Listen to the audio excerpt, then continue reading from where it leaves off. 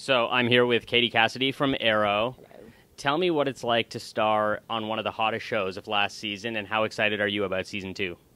Um, it's awesome, uh, and I'm so excited about season two. I mean, I was just was saying to someone, it's so cool. I can't wait to read the first episode and and you know from them them on out just because I'm getting so much more information. You know, it's like a manual almost. It's like you're just getting more and more information about your character, about relationships. Um, super excited. Obviously, the season finale was rather shocking Right. and very sad. So I think that there will be a lot, a lot going on in season two. It kind of uh, made the decision for Laurel pretty easy, right? Like, oh, is it going to be Oliver? Or is it going to be Tommy? Well, it's got to be Oliver now, right?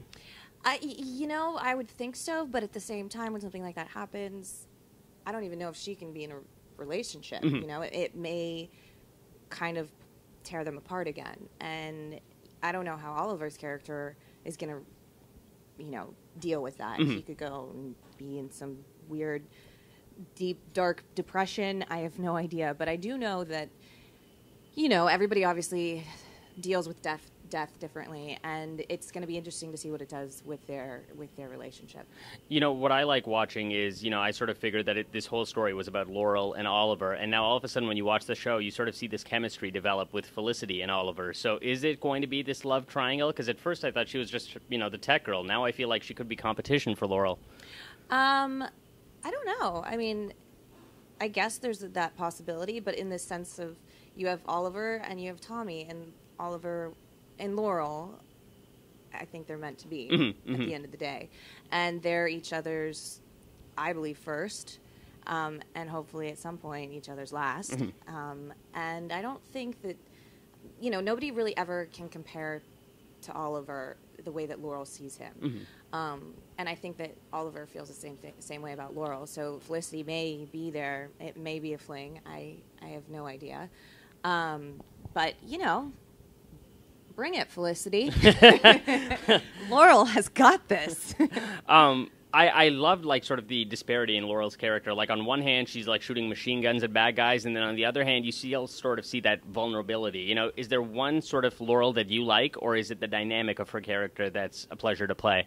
Uh, it's certainly you know the dynamic that's really awesome. I feel like she really s- rises above when you know and when need be. Mhm. You know, she's a strong person, strong character. She is very emotional. Um, she's super sensitive, but she she's a fighter, Mhm. and um, I think it's nice that you get to see sort of all those colors. Um, when it comes to when it comes to her character, you know, she she can stand up to whoever she has to, um, and she her father's obviously a detective, a cop, and she knows ha- self defense. He probably made her take self defense classes when Yeah, when she yeah. was younger and taught her, you know, a few things. So it's not just like out of the blue she knows how to shoot a shotgun. You Right. know? it, it, it's legitimate and makes sense. Um, but it's all fun. You know, I love doing those fight scenes. I think they're so cool and so much fun. And I don't know. I just uh, I- every time I interview about the show, I always ask you like, when are we going to see the Black Canary? You know, and I was counting down. I was like, oh, she's got to come out in that season finale. So is that something hopefully we're going to see in season two, or do you not know either?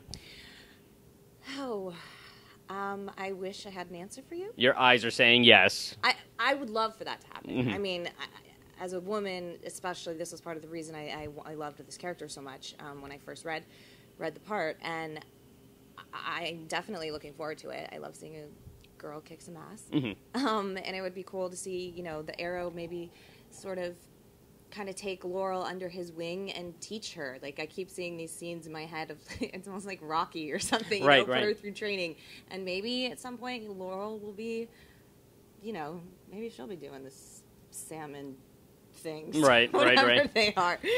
Um, I think it would be. I think it would be fun and cool. And we'll see.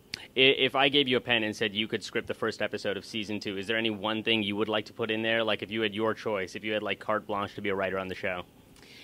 Um, I think it would be really cool to actually pick up exactly where we left off. Mhm. You know, from that either the next day, not too much time has passed, or maybe even that scene where you see my father and I in the street. Pick up from there um, to remind the audience of the tra- obviously how tragic and and, Mhm. and what has been going on. Um, putting in the first episode. obviously you're going to see everyone's reaction to or where they are to to Tommy's death, and I don't know. I think that they'll it'll be interesting. I don't want to say too much because I do know a little bit. Mhm.